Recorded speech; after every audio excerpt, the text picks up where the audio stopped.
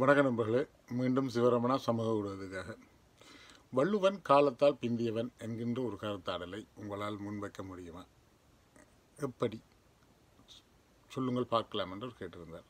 நிச்சயமாக சொல்லலாம். வள்ளுவன் காலத்தால் பிந்தியது என்பதற்கு ஒரு கதை இருக்கிறது. காரணம் என்னென்று கேட்டால் வள்ளுவனுடைய மனைவி வாசுகி நீ கிணற்றிலே நீர் அள்ளுகின்ற போது வள்ளுவன் அலைத்தான் வாசுகி என்று உடனே அவர் அந்த நீர் அள்ளிய அந்த கயிற்றையும் குடத்தையும் அப்படியே விட்டுவிட்டு சென்று விட்டார் மீண்டும் வந்து பார்த்தபோது அவர் எவ்வளவு தூரத்துக்கு இழுத்திருந்தாரோ கிணற்றிலிருந்து நீர் எடுத்த அ- அரை அரைவாசி தூரத்தில் அப்படி அவர் விட்ட இடத்திலே அப்படியே நின்றது குடமும் கயிறும் நகராமல் விழாமல் இருந்தது என்று சொல்வார்கள். அப்படி பார்த்தால் வள்ளுவன் வாழ்ந்த காலத்திலே வீட்டிலே கிணறு இருக்கிறது. எனவே அவன் காலத்தால் பிந்தியவன் தான் இவர் வாசுகி என்று அழைத்ததும் கிணற்றிலே நீர் எடுத்த வாசுகி அப்படியே கயிற்றையும் குடத்தையும் விட்டுவிட்டு செ- சென்றால் மீண்டும் வந்து பார்த்தபோது அப்படியே நின்றது. எனவே வள்ளுவன் வாழ்ந்த காலத்திலே வீட்டிலே கிணறு இருக்கிறது. கப்பி இருக்கிறது கயிறு இருக்கிறது. எனவே அது முதிர்ச்சி அடைந்த வளர்ச்சி அடைந்த அபிவிருத்தி அடைந்த கால் நாகரிக காலத்தில் தான் வள்ளுவன் வாழ்ந்தான். அப்படி கொள்ளலாம் தானே. காலத்தால் முந்தியதாக இருக்கட்டும் காலத்தால் அழியாததாக இருக்கட்டும். ஆனால் இந்த கதையின் மூலம் என்ன தெரிய வருகிறது? வள்ளுவன் வாசுகியை அழைத்த போது வாசுகி கயிற்றையும் க க- நீர்க்குடத்தையும் விட்டுவிட்டு சென்றாள். அப்படியே நின்றது அவளின் பதிவிரதா தர்மத்தின் தத்துவம். வள்ளுவன் எழுதிய குரலின் மகிமை. தெய்வந்தொழால் கழுநட் தெழுதெழுவால் பெய்யன பெய்யும் மழை. எனவே அந்த வகையில் தான் அந்த குடமும் அந்த கயிறும் அந்த கப்பியும் அப்படி இழுத்த இடத்தில் நின்றது. வள்ளுவன் எழுதிய குரலுக்கு ஒப்பாக அவனுடைய மனைவி வாசுகி வாழ்ந்தாள். தற்காலத்தில் நீங்கள் இதை சொன்னால் இது ஆணாதிக்க சமுதாயத்திலிருந்து வருகின்ற ஆழமான கருத்துக்கள். இவை இந்த காலத்தில் எடுபடாது ஏற்கவும் படாது. சட்டம் நீதி சுதந்திரம் தர்மம் அதை தாழ்ந்து பெண்ணியம் பெண்ணுக்கு இருக்கின்ற அடிப்படை அறிவு தெளிவு இதெல்லாம் இதை கருத்தில் கொள்ளுகின்ற போது இது ஆணாதிக்க சமூகத்துக்குள் வந்து விடுகிறது. எனவே இப்போது நான் கூறிய கருத்து காலத்தால் பிந்தியது வள்ளுவனுடையது என்று சொன்னால் வாசுகி காலத்தால் பிந்தியவள். காரணம் என்னென்று கேட்டால் அவள் கப்பி கிணறு உள்ள ஒரு நாகரிகமாக வளர்ச்சியடைந்த ஒரு கிரா கிராமத்திலேயோ அல்லது நகரத்திலேயோ வாழ்ந்திருக்கிறாள். என்றால் வீட்டில் கிணறு இருந்திருக்கிறது பிரத்யேகமாக ஆறு குளம் ஏரி குட்டை கேணி என்கின்ற அந்த க- கதாபாத்திரங்களை உடைய கற்பனைக்குரியதோ அல்லது செயலுக்குரியதோ நீர்கள் ஏந்துகின்ற பகுதி கம்மாக்கரை வாய்க்கால் ஆறு குளம் ஏரி குட்டை சுனை கேணி. இந்த சொற்பதங்களை உடையதுதான் தமிழ் சங்க காலத்தில் மக்கள் ப பயன்படுத்திய நீர். வாய்க்கால் வரம்பு இதெல்லாம். இதெல்லாம் தாண்டி கிணறு இருந்திருக்கிறது. கிணற்றிலே தண்ணீர் அள்ளினால் கணவன் அழைத்த போது என்கின்ற போது காலத்தால் பிந்தியவள் பிந்தியவள் வாசுகி அதே நேரத்தில் வா அவளோடு வாழ்ந்த கணவன் வா வள்ளுவனும் பி- காலத்தால் பிந்தியவன் என்று பொருள் கொள்ள முடியும் தானே. அதை தாண்டி பார்த்தால் வள்ளுவனுடைய படைப்பை தமிழ்ச்சங்கம் என்று ஏற்கவில்லை. காரணம் ஏன்? அவன் ஏதோ ஒரு பிற்படுத்தப்பட்ட ஒரு வாழ்வியல் தர்மத்துக்குள்ளும் சிந்தனைக்குள்ளும் இருந்து அவனால் எழுதப்பட்டது சிருஷ்டிக்கப்பட்டது திருக்குறள். திருக்குறள் என்று அவன் படைக்கவில்லை. அது வள்ளுவன் குரல் என்று தான் சொல்லப்படும். வள்ளுவன் வாய்மொழி என்று தான் சொல்லப்படும். எனவே எழுதப்பட்டதோ தெரியவில்லை. வள்ளுவன் வாய்மொழி என்று என்கின்ற போது எழுதப்பட்டதற்காக எழுதப்பட்டதாக பொருள் வராது. அதனால் தான் அதை தமிழ்ச்சங்கம் ஏற்கவில்லை. தமிழ்ச்சங்கம் எண் சீர்விருத்தம் ஜமகண்டம் வெ- வெண்பா அதை தாண்டி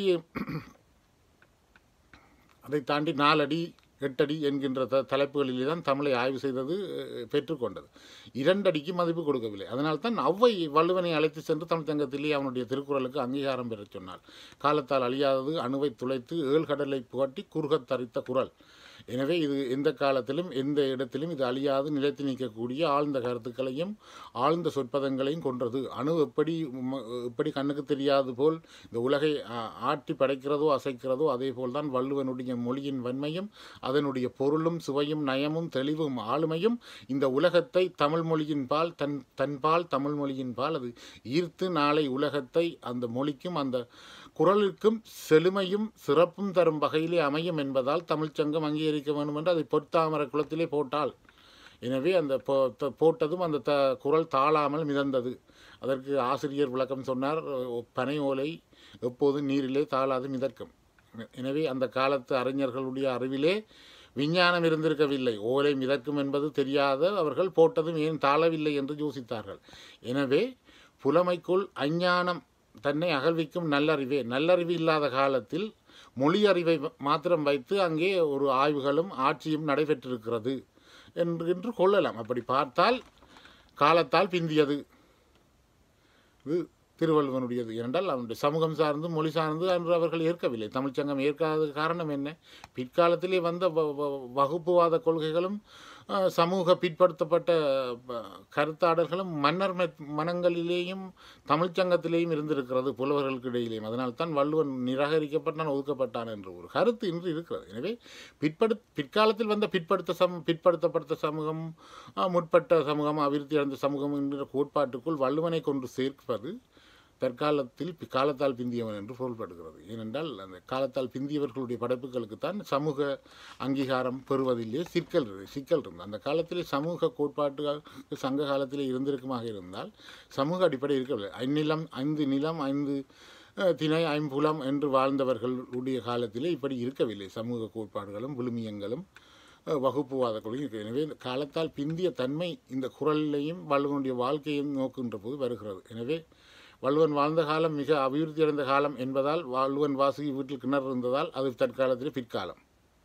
அத்தோடு அவனுடைய குரலுக்கு தெளிவு கொடுக்கவில்லை. சமூக பின்னடைவை தொழில் இருந்தால் சங்க காலத்திலே சமூகமும் வழக்கு வழக்கும் பிற்படுத்தப்பட்ட சமூகம் என்பதற்கான இந்த அடையாளம் தோன்றவில்லை. ஐம்புலம் ஐந் திணை ஐங்கடவுள் என்று வாழ்ந்தவர்கள். எனவே அங்கே ஒரு விருப்பு வெறுப்பை சமூகம் தோற்றுவிக்கவில்லை. எனவே பிற்காலத்தில் தோற்றுவிக்கப்பட்ட சமூக வேற்றுமை கோட்பாடுகளிலே வள்ளுவனுடைய படைப்பு சிக்கியது என்கின்ற கருத்து வரமாக இருந்தால் அது காலத்தால் பிந்தியது. நன்றி. உங்கள் எல்லோருக்கும் வள்ளுவனுடையது காலத்தால் அழியாதது. காலத்தால் அழியாதது காலத்துக்கு காலத்துக்கு முந்தியது. எப்போதும் அது இனி வருங்காலங்களிலும் அதை அழிக்கவும் முடியாது அதை மறைக்கவும் முடியாது அதை ஒரு மதத்தின் சாயல் கூட பூச முடியாது. காரணம் என்றால் அவன் வாழ்ந்த காலத்தில் மதமும் இருக்கவில்லை மிஷனரிகளும் இருக்கவில்லை ஒன்றும் இருக்கவில்லை. எனவே தெளிவாக கொள்ளுங்கள் தமிழிலே எழுதப்பட்ட ஒரு நூல் ஈரடி நூல்.